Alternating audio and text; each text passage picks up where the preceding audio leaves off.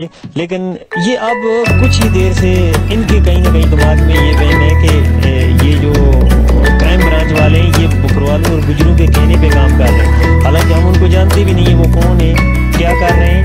हम, हमें इस बात से बिल्कुल भी नहीं मतमीन है। तो अब ये बातें फैलाई जा रही हैं कि हम ये करेंगे, वो करेंगे, हिंदू कह रहे हैं कि ऐसा है नहीं है कुछ भी। अफवाह है कि हिंदू कह रहे हैं कि हम गुजरात जैसी हालात बनाएँगे, मुसलमान कह रहे हैं कि हम पाकिस्तान जिंदाबाद कह रहे हैं, ऐसा कुछ भी नहीं है, सर। मिला कहीं किसी से तो ना कहीं इनसे कोई दुख है। सिर्फ़ इतने हम ज़रूर कहेंगे आपके इस चैनल के माध्यम से कि जो असली गुनागार है, सर, उसको उसको सजा मिलनी चाहिए।